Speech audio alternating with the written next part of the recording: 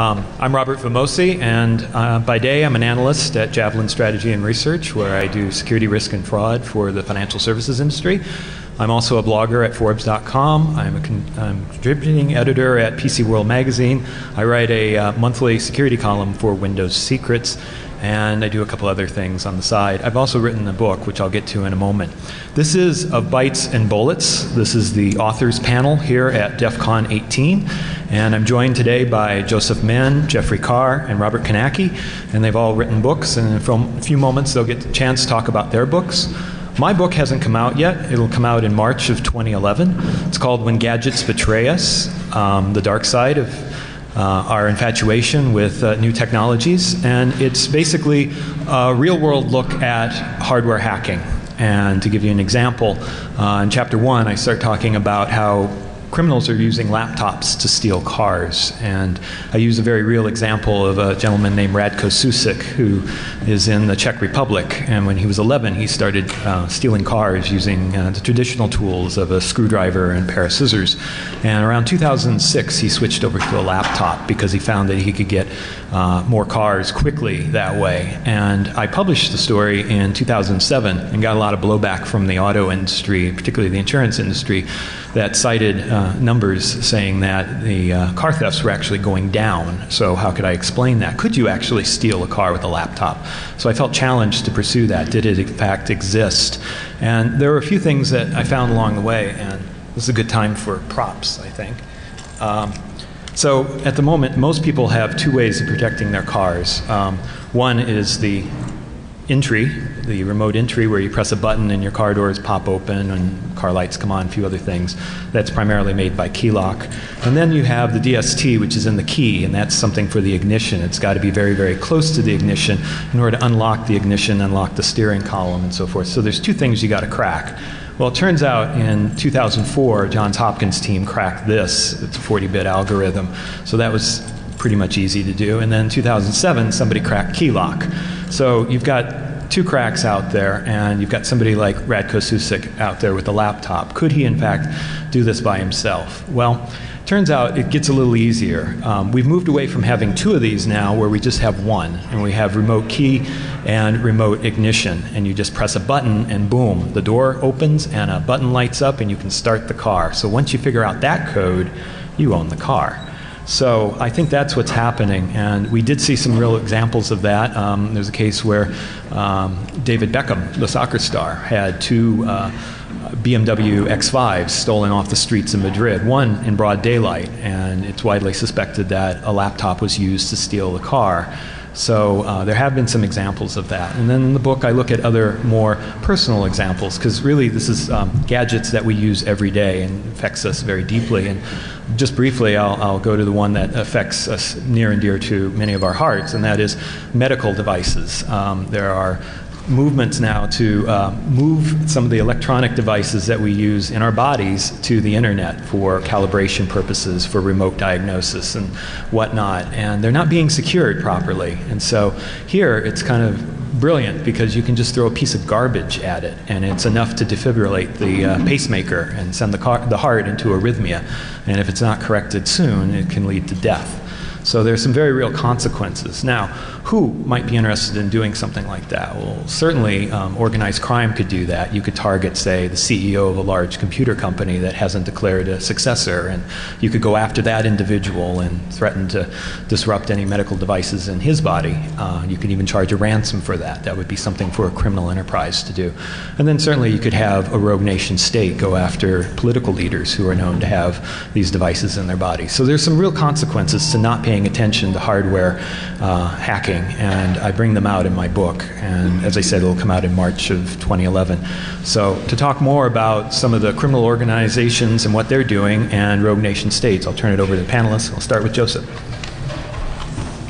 Um, hi, thanks a lot. Um, so, I'm, I'm, Joseph Menn. I've been a um, mainstream newspaper reporter for 20 years. Um, and I must be doing something right because I'm still employed. Um, and my book is called Fatal System Error The Hunt for the New Crime Lords Who Bring Down the Internet. It came out a few months ago, so um, it's gotten very well received. Um, and I've been covering tech security since 99, um, and I've always felt that um, smart people like the folks here uh, know what's going on, and even some people in Washington understand what's going on. But one of the many reasons that cybersecurity is so terrible is that the general public has no idea what's going on. And part of that's because it's, it's genuinely complicated technologically, and as I found out, politically um, and legally. Um, but it, it, in part it's because nobody has an incentive to explain it. You know, the software companies want you to buy their stuff, and computer companies want you to buy your stuff, and the banks want you to do stuff online because uh, it saves them money and so forth and so on. Um, and so what I was, I, what I worked for years uh, to do was to try and find um, an adventure story, a true adventure story of good guys and bad guys that would cut through that, and so I could educate people in a fairly painless, I hope, um, fashion. Uh, and um, this, this, my quest began um, in like 2003 when I was at the LA Times. And uh, that's when, uh, as most of you probably know, viruses became really commercial. Um, and it, you know, if um, and it was it was a it was a really major change. Um, and initially that was because the, spa- the spam block lists uh, were working, and so they wanted lots of bots to send spam uh, from safe IP addresses. Uh, but this, probably the second easiest thing you can do once you have a botnet is uh, is DDoS folks. Um, and so one of the first things that they did was, uh, and they is in this case Russian organized crime, uh, the other folks are doing it, was uh, DDoS uh, extortion. Uh, and they would start knocking over websites and say, you know, please to send $40,000 to Latvia by Western Union, you can have your site back.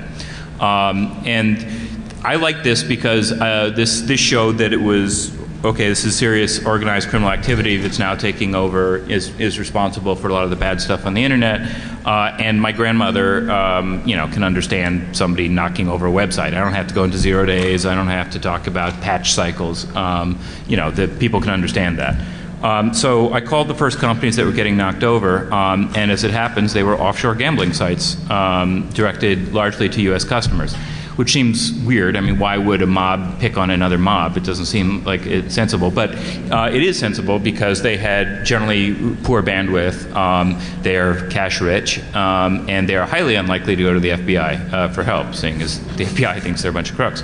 Um, so uh, I called those guys and uh, to try and make my story better and even more readable, and I was looking for for uh, human beings to put around it. Um, and uh, they said, well, you should talk to this guy Barrett Lyon. He really, he really saved our ass. And Barrett Lyon was, uh, well, I didn't, I didn't know him at the time. I, I called him. I assumed he'd be some boring 40-year-old white guy surrounded by PR people that wouldn't let him say anything interesting.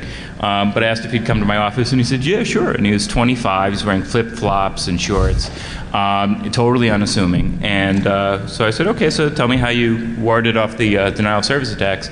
And he told me some stuff about you know the scripts he wrote and uh, the additional bandwidth that they, they glommed on and everything else.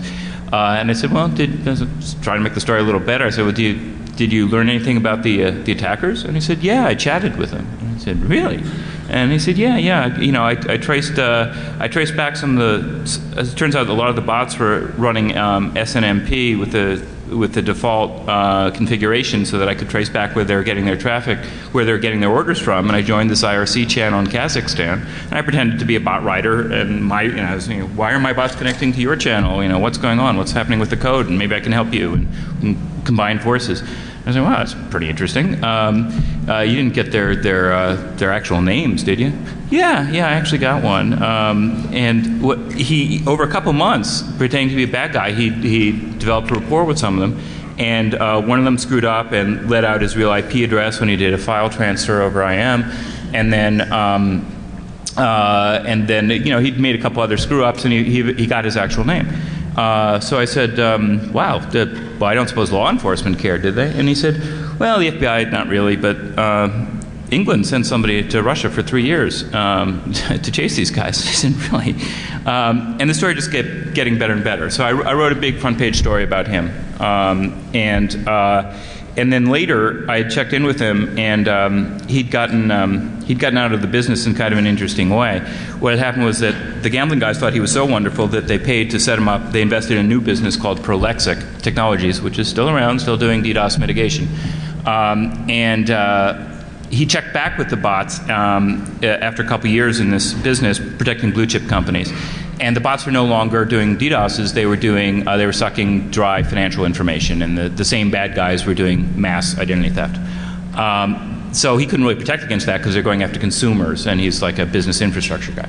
The other thing that happened was by around the third time that he had to meet payroll by going to a parking lot of a drugstore and meeting a guy named Vinny who had a manila envelope full of 20s, he thought maybe his investors weren't such great people either. So um, in the in the manner of Bridge over the River Kwai, he went back to the FBI and said, "You might want to take a look at my own guys." Uh, and he wore a wire uh, against people who were backed by the Gambinos.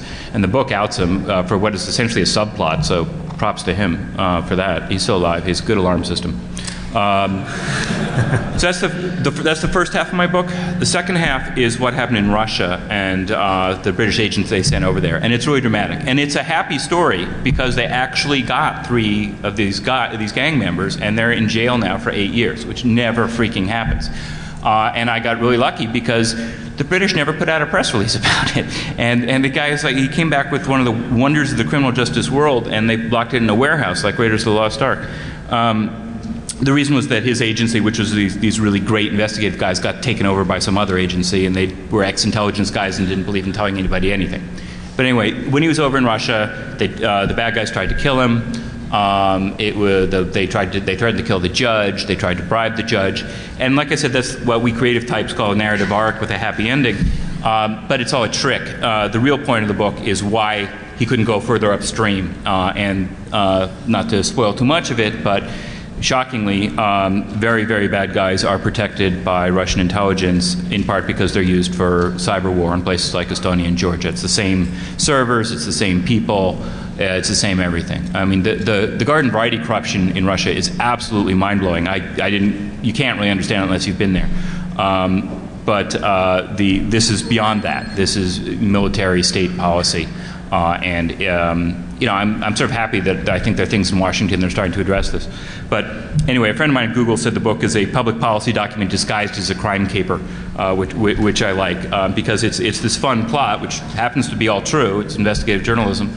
Um, and then, then, then towards the end, I get to state sponsorship, and then the last chapter is all policy proposals and stuff like that. Um, and that, that's what I got. Jeffrey? All right. Uh, my name is Jeffrey Carr. I wrote Inside Cyber Warfare, Mapping the Cyber Underworld. It was a book that was spawned from the Russia Georgia War of 2008. Uh, my background was uh, originally Microsoft as a working on their business intelligence platform, and I have always been interested in data mining and semantic analysis of, of unstructured text, and basically just trying to mine the web for uh, little nuggets, little jewels of information in the in a sea of words.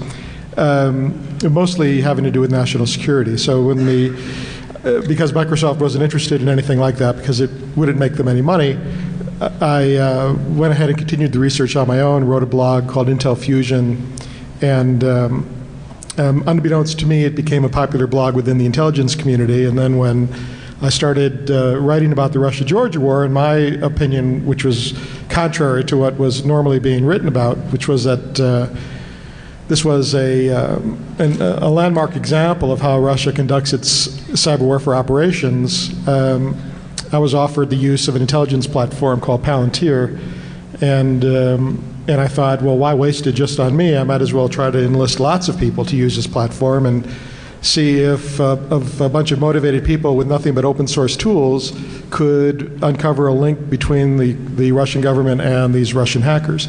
So that's what we started called, and we called it Project Grey Goose, named after the French vodka, because I thought it was funny if we named a project looking into Russian hackers after a French vodka and not a Russian vodka.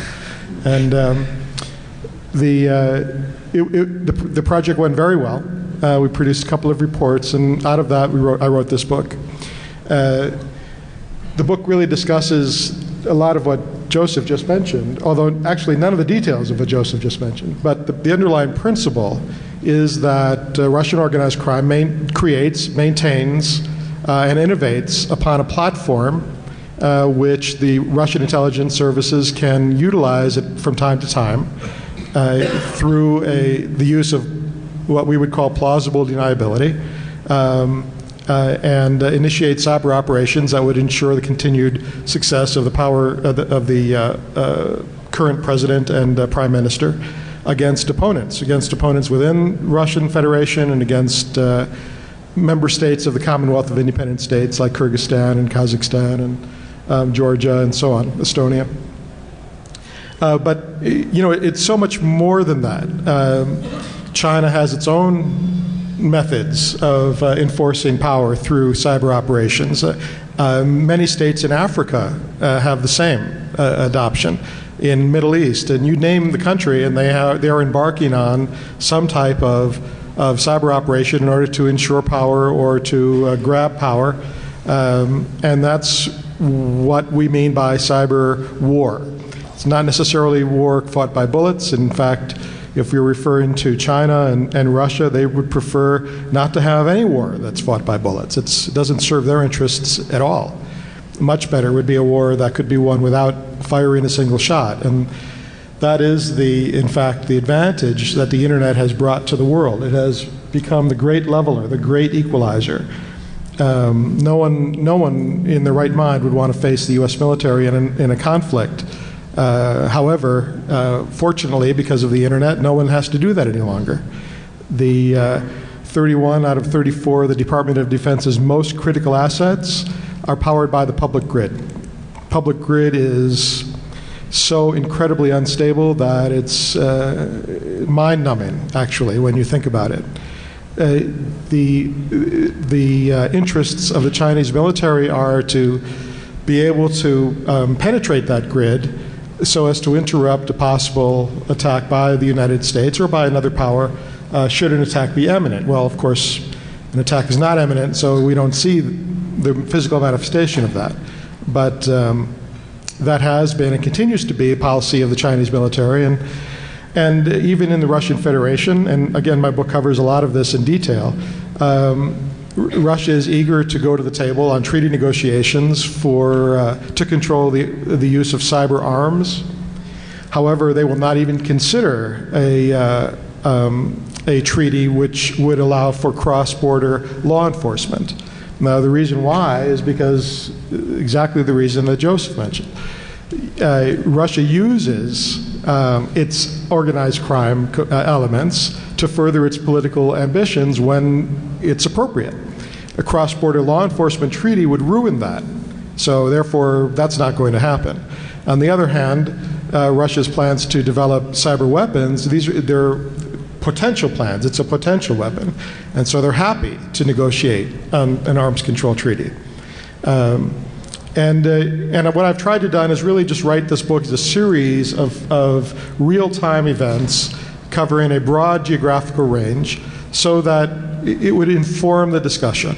This is the book is, has been well received by certain parties and then criticized by others. Mostly, most of the criticism is that it's not a cohesive arc. You know, there's not a beginning, a middle, and an end. There is no end right now. Um, this is an ongoing development, and so uh, it would be impossible to write a unless you're writing a great story like Joe. Uh, regarding the state of cyber warfare, there is who knows what's going to happen tomorrow. That's what makes it so endlessly fascinating. Uh, currently, the, my business is uh, to provide cyber intelligence on state and non state actors to clients in foreign governments, the U.S. government, and to private corporations. And in my opinion, uh, what we're missing in cybersecurity is, inf- is intelligence on the actor side. We have lots and lots and lots of intelligence on the malware side, but the malware side, in and of itself, doesn't reveal uh, attribution attribution, in, in my opinion, will be a combination of the malware uh, with information on the actors and who that malware would serve and who has the means, motive, and opportunity to launch that type of an attack. So that's the focus of my uh, enterprise. Hi, um, my name is Rob Knake. I am a researcher at a foreign policy think tank in Washington. And the focus of the book I wrote with uh, Richard Clarke, the former White House counterterrorism advisor and former White House cyber czar, really is at that level. It's, it's looking at conflict between nation states in cyberspace and the future prospect of conflict between nation states in cyberspace. Some people have said that the book really is a call to arms. What we wanted it to be was more of a conversation starter we threw out a lot of ideas about how to deal with that problem But what we were looking for was response back to say, you guys got all these technical issues wrong, you're missing this dimension, you're missing that dimension, and really try and do for cyber warfare what happened in the 1950s and early 1960s with nuclear warfare. Develop doctrine, develop strategy, move away simply from a technical problem, a scientific problem, and employ all the methods that states can bring to solve international conflict and to reduce the likelihood of international conflict. Within the tech community, one of the things that's really happened with putting this book out is a lot of backlash to the idea that even something like cyber war could ever really exist, that nothing that we've seen today, even the Georgia example, even the Estonia example, really is warfare. That's a judgment call. But I think we looked at it and we said there are at least three things that are going to make it so that in the future, if we haven't seen a cyber war yet, we will see one. And the first, some of what Jeff has talked about, is that at least over 100 militaries are setting up cyber offensive warfare units. And the second one is that if you look at US military strategy in this space, there was a recently declassified US military strategy for cyber operations. And that strategy is overwhelmingly offensive. It says we must have superiority in cyberspace the same way that we have superiority in the air and dominance in the sea. And so that said, we've got to attack first. We've got to go on the offensive, that we can't defend. That creates a very destabilizing situation internationally. If you look at a history of warfare, the times in which offense is dominant are when wars are more likely to occur. And so that means that looking out in the future, we're likely to see more wars start in cyberspace, and they may not stay in cyberspace. And then finally, I think we looked at the issue of what people call cyber espionage. And in Washington right now, this is really the big concern because the level of espionage taking place is far above anything that ever happened in the Cold War. There is so much more activity taking place under the guise of cyber espionage than ever took place in human intelligence. And really, though we know that the NSA is responsible for our cyber intelligence operations, it's not really signals intelligence. It's a lot more like human intelligence. It's just replacing the actors, the humans, with computers. And it's a lot easier to turn a computer than it is a human. And it's also a lot safer because you can do it remotely. And so, for that reason, the level of espionage taking place is really, I think, causing harm in our relationships, particularly with China and with Russia. And in recent dialogues I've had with the Chinese, it was very clear to me that they had that view, that they thought that what was taking place between our country and their country in cyberspace was one of the reasons that relationships had been deteriorating. So that I think lays out the problem of cyber war and our concern about what could happen in the future. And then I think we came up with maybe three basic things that we needed to do in order to combat that problem. Uh, our first problem that, that we really see is that the US is more vulnerable than China, than Russia, than any of these other countries. And, and that's really because our government has less of a role in protecting cyberspace. Effectively, uh, government is out of that picture, and it's the private sectors and even individual consumers who are left to protect themselves. So we said we need to find a way that government can provide that protection while not intruding too far into the space without hurting innovation, without harming commerce, without becoming overly burdensome. And that's a real risk anytime government gets involved in the private sector. And the second big point that we had on, on what to do was to say that you're not going to be able to defeat a persistent nation state threat that's military in nature, that's disciplined, that's operating around the clock uh, through technical means alone. So you have to look at what you can do to shape the international system, what you can do to establish norms in cyberspace that say this kind of behavior isn't acceptable. That's not espionage, that's preparation of the battlefield. That's destabilizing you need to look at other treaty options than what the Russians have proposed, which would essentially trick us into limiting our capabilities so that they could develop theirs. Uh, and instead find ways that you can protect the strategic assets uh, that make the internet function uh, without uh, compromising our ability to carry out offensive operations when we need to. And then finally, uh, the really most crucial point that Washington's facing right now is a need for a much larger cyber workforce within government and more broadly within the private sector. That really it confuses a lot of people in Washington who think that this problem is all about automation, it's all about uh, bits and bytes, when actually, if you're going to go up against a dedicated team that is going to persistently target your networks and systems, uh, you've got to have an equally dedicated team around the clock, 24 hours a day doing that. And we simply don't have enough people in government right now who have the kind of capabilities that you guys have. So that was our, our final point and probably the one that we've been stressing the most since publication of the book. So we're going to stay with this theme of cyber war since it unites all of these uh, publications.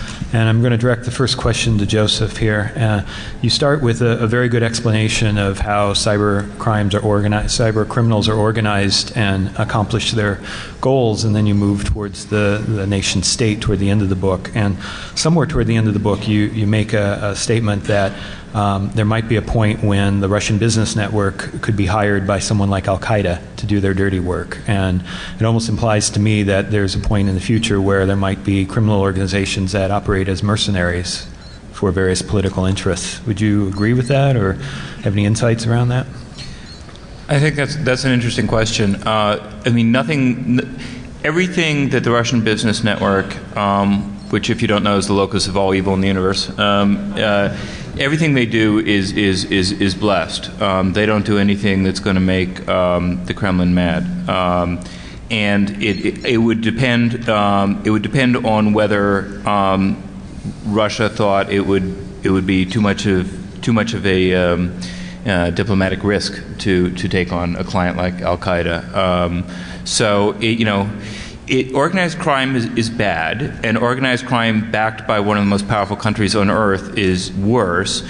Um, but uh, it has some advantages, I guess, and that, that they're not going to do anything that isn't doesn't work from a cost-benefit perspective. I mean, the reason they've been able to do it, do this stuff so far is that the benefits have outweighed the costs. Um, there hasn't really been any punishment against Russia for their harboring some of the worst criminals in the world. Um, and the benefits have been have been demonstrated in uh, in places like uh, Estonia and Georgia. Uh, not to mention, you know, bank accounts of numbers of people in, in Russia. Um, but I don't know if Al Qaeda would be worth it. I also don't, I think that the the, the cyber uh, cyber terror stuff so far I think is overblown. Um, I you know I haven't seen any really impressive capabilities uh, demonstrated by those guys. Mainstream crime is what's going on right now, and it's true that some very bad guys, including uh, jihadists, have have raised money. Um, through fraud on eBay and various other places.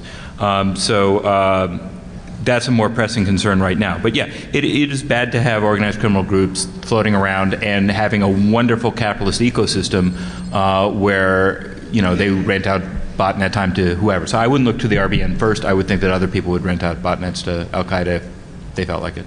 Lesser known groups. So, so for Jeffrey, um, in your book, at some point, um, you make a comment along the lines that denial of service attacks are not criminal; they're acts of war. Um, and I, I, hope I'm reading that correctly, but that, that's what I got from, from that section of the book. And I was wondering how something like uh, the DDoS attacks that we saw in 2000, where Amazon, eBay, um, at the time I was working for ZDNet, we were all hit with this SYNFLOOD attack. And it turned out it was caused by a 16 year old in Canada. So you had this foreign agent attacking U.S. interests. Uh, does that rise to the level of a cyber war? Uh, no, I honestly, I um, I'm not sure which part of the book I said that in, but um, okay, then that was a misread on my part. I think that uh, denial of service attacks are, tend to be no, more noise than, you know, more more bark than bite. I'm not really too concerned about them as much as uh, like a SQL injection type of an attack where data is act, where the back-end web servers are actually compromised and usernames and passwords are extracted and for example, um, Tur- a Turkish hacker crew in, on Veterans Day uh, attacked um, the uh, U.S. Army's uh, Human Resources Division, who's and they published uh, hundreds of names of soldiers, their email addresses, where they were stationed. And this was all extracted from their, you know, from the web servers at the, the Human Resources. And on the same day, they um, they also defaced a U.S. Army website that uh, attached to a base that held base design information, you know, base architecture information. So that's much more worrisome to me when you've got when you're you're combining uh, data which identifies individuals and data which identifies base vulnerabilities, and you've got the same Turkish hacker crew doing both. Much more serious than a DOS, in my opinion. Hmm. Um, but does it rise? Does it rise to war? To, to, to a state of war? I, Probably not. There really isn't a legal definition for an act of war. It's a uh, that's a, a misnomer. Um, there are, uh, you know, a state has a right of self-defense. The state has to show that harm has been in- incurred, and generally speaking, it's always been an armed attack. Uh, so there's legal scholars are still debating today what constitutes an act of war. I, I think, and in the case of, of China and Russia, as I said earlier, in my opinion, when I have the chance to speak to the uh, U.S. Army War College or the Air Force Institute of Technology, which I was just at both of those in the last 30 days, I'm trying to communicate that we need to redefine what we mean in terms of war. Because if the goal of an adversary is to accomplish, is to, to succeed in establishing a superior position without the use of bullets or bombs or bloodshed, uh, and that they're able to succeed in that through the use of espionage and through other nonviolent means, then they've achieved their political objective. Well, that is, by definition, war. Uh, the, the extension of politics by other means. So, uh, in that regard, then yeah, it would be, uh, you know, we need to think about it in terms of, of political strife and, and warfare. And Robert, in, in your book, um, you co wrote it with uh, Richard Clarke, and Richard Clarke is uh, famous for a lot of different things, but he coined the phrase digital Pearl Harbor shortly after 9 11. And uh, you cite a number of different specific examples of where um, cyber warfare has been used in conjunction with land warfare. An example I'm thinking of is uh, the Israeli military attacking Syria and the nuclear plant there. Um, there are a number of examples in the book. Uh, how come none of them rise to a level of a digital Pearl Harbor? What, what keeps them from being that? Well, I, mean, I would say first off, in the case of the Syria attacks, uh, Pearl Harbor was the event that got the United States into World War II. Uh, we haven't been attacked with any of those weapons. Uh, the second point I would make on that is really that attack was an evolution of just electronic warfare. It was a, a more sophisticated form of jamming and a much more effective form of jam- jamming. But if you're not familiar with that incident, basically the Israelis, using probably US technology, were able to take over the air defense systems of the Syrians so that they did not see the planes that the Israelis were flying in to bomb their targets. And the Israelis came in, they dropped their bombs, they left.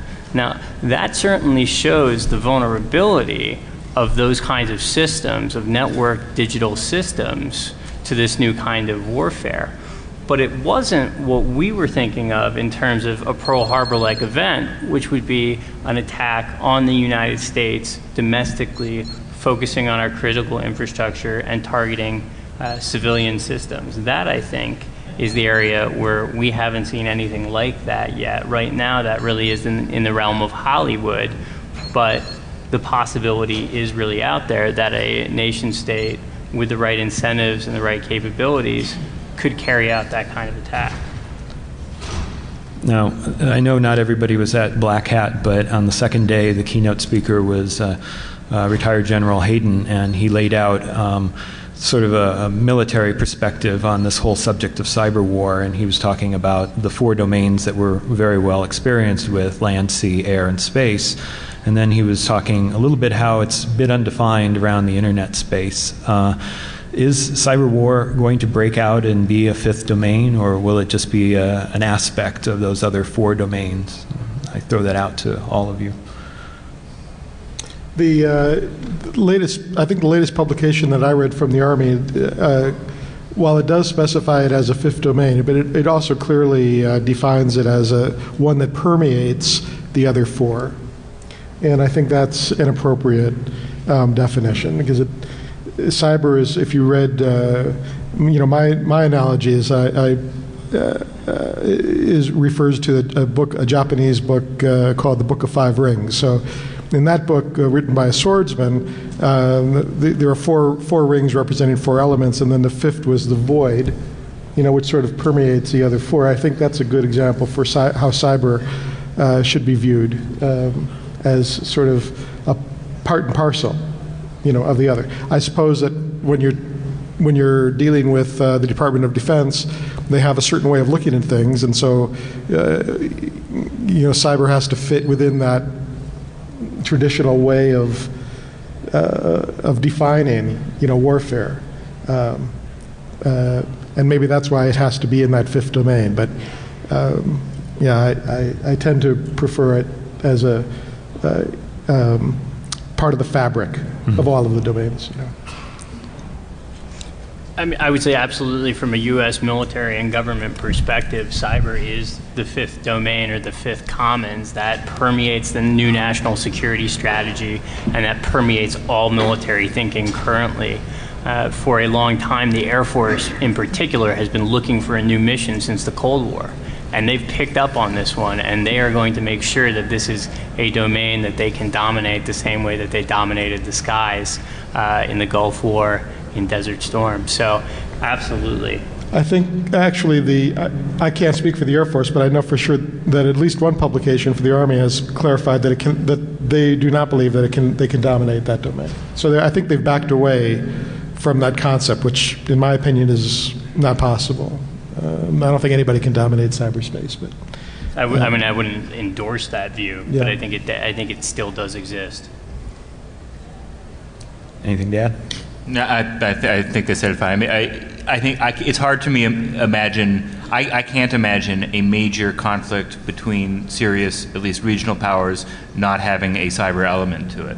Um, I think there can be some cyber things that have no, uh, you know, air, air, land, sea, space stuff. I think that that's happening all the time, but I don't see it going the other way. I think cyber will be an element of, of any major conflict. Okay. In a few moments, we'll take questions from the audience, so if you want to line up, there's a microphone right over there. Um, another question for the panel um, How distinct is uh, cyber crime from cyber war? Um, I, I, work in the financial services industry, and I've been told over and over by the U.S. government that they consider the financial services industry to be the, the vulnerable pillar, and that's the one they're, they're going to protect the most. So, an attack on our financial services, if it's for profit, uh, is that necessarily an act of war? Uh, if, if, I could take a stab at that one. Um, the, uh, the definitions aren't all serving us very well um, because you know this is murky in part in part for purpose. I mean, if the internet was built for deniability, it couldn't have it couldn't have been done better. Um, I mean, it, it's really, really wonderful, perfect attribution.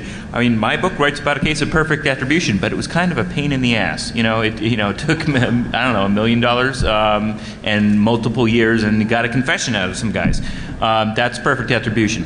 Not ordinarily the case. Um, I think that one of one of the many reasons um, that um, the Russian government has tolerated and encouraged uh, the organized crime whose crime figures who are mainly going after our bank accounts um, is because that's really handy research to have. Um, and it's nice capability. Um, uh, and uh, there could be destabilizing things in any number uh, uh, in any number of ways, uh, and one of them would just be loss of confidence, uh, which maybe should happen um, sooner rather than later. Um, even though that wouldn't do wonderful things uh, for the for our economy, uh, it's it's it's not safe now, and it, it's getting less safe. So, rambling answer, but there you go. Any other comments? I would just be happy if we if we um, put shelved the act of war phrase, uh, since there's really, it doesn't exist. Uh, I mean, it's impossible to define it, it doesn't have any legal standing. Uh, an economic attack could have military consequences.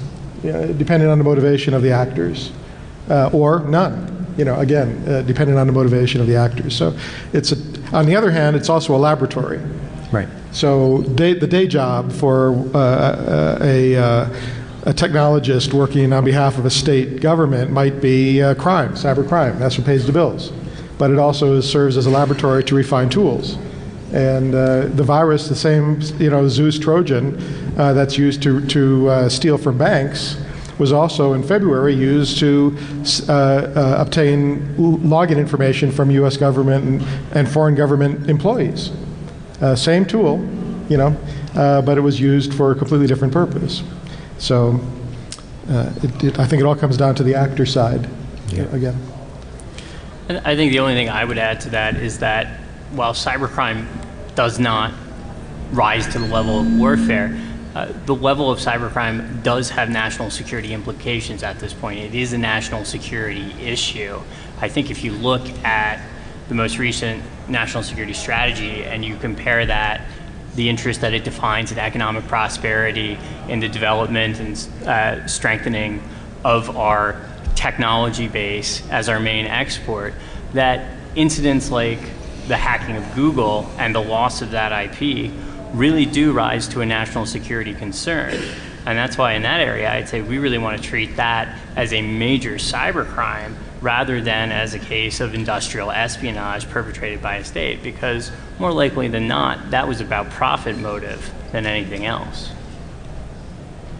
I disagree with you on that. If you're talking about the Google attacks that they went public in January, I don't, I don't think that was largely about money. I, I think it was very interesting how Google made it, made it public and what they said. Uh, but uh, you know, one of the things they said is that they were trying to cra- they were cracking email accounts uh, or other accounts of, of dissidents, and, and uh, so I think there was clearly political motivation uh, motivation there as well. I mean, I think they wanted IP as well, but I, I, I think uh, national politics was a big part of that.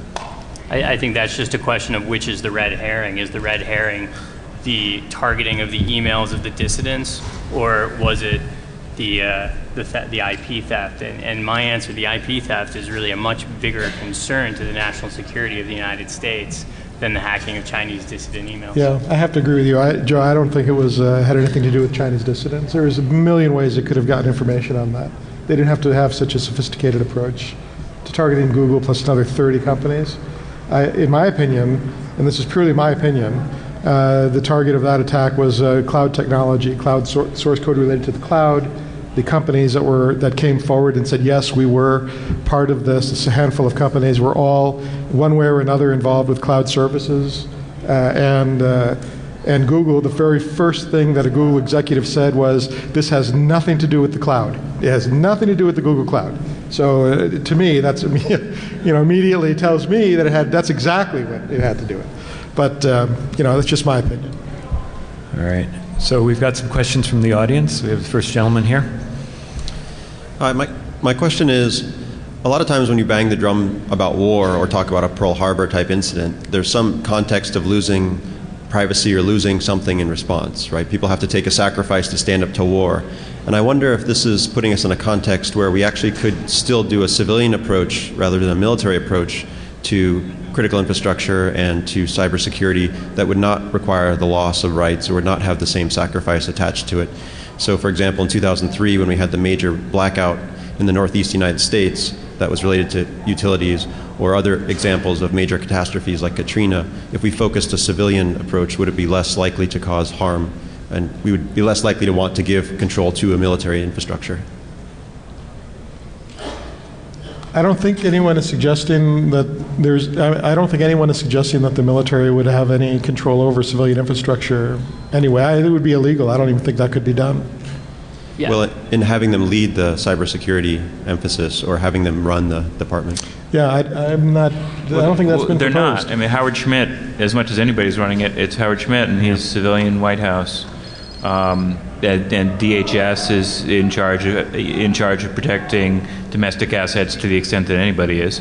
Um, it'd be nice if I think the government was more in charge of protecting civilian infrastructure. It's in private hands. Um, so I, I, you know, I, I, think it's kind of a bugaboo. I, I, mean, I don't, I don't think that's a big, that's not a, a it doesn't keep keep me up at night. Um, uh, I think uh, it would be nice if the government did did some more stuff in this area quickly. I, I would say that the uh, what I recommend when I have a chance to talk to somebody at DoD is that they act as a customer, that they understand that they are a huge customer for the civilian power grid, and that they require they should require that that grid be secure. Um, and that either the civilian power grid needs to make it secure, or DoD should just create their own power source, their own uh, their own internal grid, uh, one or the other. But I, I would probably take it a step further, and I would say that right now there's a lot of emphasis in Washington about how we can use those other instruments of national power so that we don't have to regulate in the private sector, so that we don't have to intrude on privacy. How can we create cyber deterrence, which is something that there must be a conference on every month in Washington, and do that in order that we don't have to make the investments domestically in protecting our infrastructure and protecting our network. So it's almost the opposite argument. It's a lot like after 9 11 when the Bush administration basically said, keep shopping and traveling. We'll take care of it. We'll fight them over there so we don't have to fight them here. I think that is currently the military's approach. It's really a water's edge out approach. I'm not sure it can be effective, but I think that's what DoD is looking for. And I think right now, that's what a lot of the discussion in Washington is around. So we go to the next question. Yeah, segueing in your comment about cyber deterrence, I completely agree. There's not enough debate in that area, and I wanted to get the panel's um, opinion upon.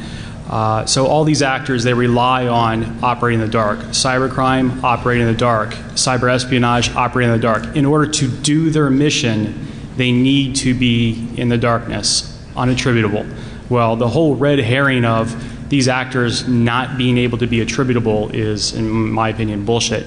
And I think there's enough expertise in this room and core of the people in this room that actually know who does cyber espionage and cyber crime. So, from a disruptive and deterrence strategy, going to your uh, cyber deterrence um, thing, I'd like to know how you feel about the community or communities opening up and releasing that attribution as a method of disruptive social attack, where essentially you name actors, their full names, their ages, their date of births, their locations, their friends, their families, their employers, their car title. And the strategy being that you put so much emphasis and you basically turn them into Paris Hilton. So they have like fanboys chasing after them all the time, they have paparazzi you may risk turning them into martyrs or, um, or heroes or whatever, but the point is, is that you attack them in that way to put so much emphasis on them that it's disruptive to them actually doing their jobs. You know, mob bosses don't necessarily want to hire hitmen who have a bunch of fanboys running after them and like paparazzi. It's a very disruptive attack, and I'd like to see what you guys think of that unconventional strategy.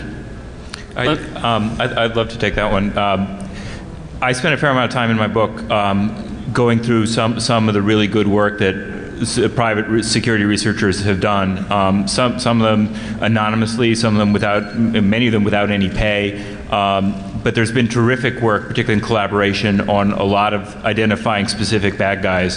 Uh, some of whom, you know, I name for the first for the first time in the book. Um, the uh, there needs to be a lot more of that. I mean, it seems like if there there need this stuff should be published. You, you really got to get it right, though. Mm-hmm. Um, if, yes. you, if you if you get if you name somebody and you're wrong, put out put out the, the, who wrote Sobig was was a really important paper, and then there have been others like that. You know, where they right, this is the evidence, this is why we think it's this person, and so on and so forth. I mentioned I mentioned that Sobig was one of the first major scary uh, c- commercial viruses, though it, it, it, it got it got cut off, but it was um, the uh, the lead researcher who's anonymous traced it to uh, Russian spammers, um, and he said, you know, I think it's this guy. And that guy publicly was interviewed later and said, no, it wasn't me. But he privately wrote to this guy and said, very, very interesting paper. um, there should be, if there's enough moral, people feel like a moral compulsion to contribute to Linux and to Mozilla and stuff like that. I, it seems to me that this is a much higher calling. Um, and, and that exposure not only the bad guys, but of the legitimate commercial enterprises that help the bad guys, that uh, you know the ISPs that serve them, the hosters that serve them. That's the way to go. That is absolutely the way to go.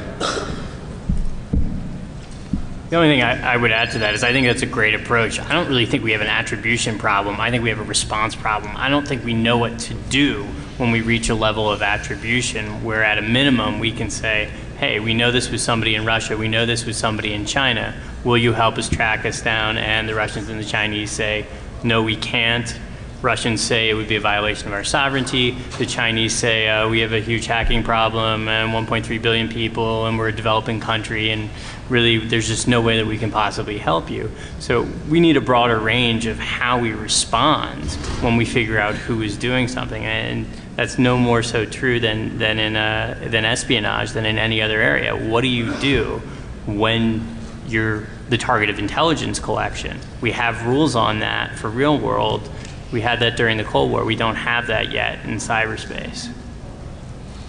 The only problem I would add to that as a journalist, um, I'm, I'm, tired of seeing Albert Gonzalez's picture everywhere, and he's sort of the poster child for robbing credit cards all over the world. And there are some people that are just going to be in countries where they're untouchable. And so by outing them and making them famous for one reason or another is just going to be a problem because they're going to continually get press and there's going to be no repercussion for it. They're going to be safe in whatever haven they've they've settled in. I, I don't get that. I think um, so. Gonzalez was working with in the indictment Hacker One and Hacker Two. Um, you know, which they don't like to talk about at the press conferences when they, they brag about how much time Gonzalez got. But their names are their handles are Annex and Grig. Mm-hmm. Um, at, at least one of them has been known to the FSB in Russia for years because he's also 76. Um, you know, these, these are serious dudes, uh, and the FSB knows, knows who the hell they are. And it puts pressure on the government of Russia. It embarrasses the government of Russia if we say, these are the guys. Um, you know, the FBI, um, in particular, over the years, has always said, "Oh, they're turning over. You know, they're they're cooperating. They're nudes. They're turning over new leaf. They're really going to help us on something." And once in a, once in a blue moon, they actually arrest somebody. Um, but it's not it's not going to happen. And and we need to be calling, you know, if not, if not the Department of Justice, then the general public, the, the security community, the press needs to, needs to call them on this shit. We'll move on to the next question. All of you talk about entities um, ran by foreign states or foreign nationals, but have any, has it ever been um, talked about or considered um, legitimately about non-foreign entities such as the um, public, albeit you know rather limited success of the anonymous group, where you have a collective of people from countries all over the world focusing on a specific item or objective um, and carrying through that objective in a almost militaristic, uh, you know, precision. I. Um I, I, haven't had a lot of experience with that. I, the only experience I've had was some contact with uh, Australian authorities, and they just consider the anonymous group a joke. They're not even. It's not even treated seriously in Australia. I, I don't know if it's the same individuals that were responsible in other anonymous attacks, but I'm not well versed really in their activities. I mean, lots of people can do. I mean, anybody can be a bot herder these days. Seems like you don't even have to. You know, I don't think you, you don't even have to be a coder. You can just you know get time on it. Um, the, the, the most bizarre sort of public thing I saw was. Uh, Israel was mad at the Palestinians and, um, and uh, about something, and some Israeli group said, uh, "Here, download our software and become part of our bot, so we can DDoS some Palestinian sites." And people did it people voluntarily turn their computers into bots. Um, so yeah, people do all kinds of crazy stuff.